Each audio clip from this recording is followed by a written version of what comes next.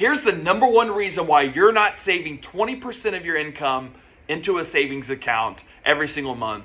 And the number one contributor to this problem is the reason why people have bad credit issues, bad spending habits, bad financial structure. My favorite topic credit cards. So, credit cards are the number one contributor to all of these problems, but also it's kind of that necessary evil where we need it to help build credit and build financial structure and, and learn how to budget better. Credit cards can teach us a lot about the way that we do things, but also can contribute to a lot of the problems that we have.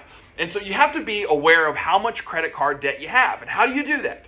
So I want you to take out a sheet of paper today, okay, and I want you to log into all your credit card accounts, get the total account balance, and put them all on the sheet and add that amount together. Okay, get that total and set it off the side. And then what I want you to do is take your monthly income after taxes. You should know that amount by now. Use it by 20%. That's the amount you should be saving every single month. You get that amount. I want you to take the credit card debt amount and I want you to divide it by your monthly 20% monthly income. And you're going to get a total. You get that total, it's going to tell you how many that's how many months it's going to take you to pay off this credit card debt.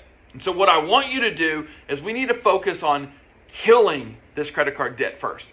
There's no sense in trying to save money right now when all you're doing is paying higher uh, amounts of interest, 18 to 28% or higher on these credit cards. So we got to get them paid off first. And you can do that with the income you currently have. You just got to cut down and say, okay, 20% of my of the money I get every single month's got to go to tackle these credit cards. And so you may have to live frugal for those X amount of months, but I'm going to tell you if you can kill the credit card debt, it's going to help you solve a lot of the problems.